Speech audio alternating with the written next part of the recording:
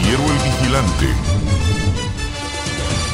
Últimas noticias de la farándula internacional, para lo cual hemos hecho un reportaje especial para usted. Probablemente el proyecto interpretativo del artista en torno al que más misterio gira.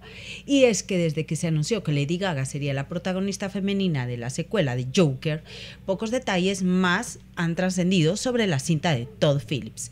Hasta ahora sabemos que se titulará Folly and Dux, que se estrenará en octubre del 2024 que al personaje principal le seguirá dando vida Joaquín Phoenix y que la trama tendrá tintes musicales.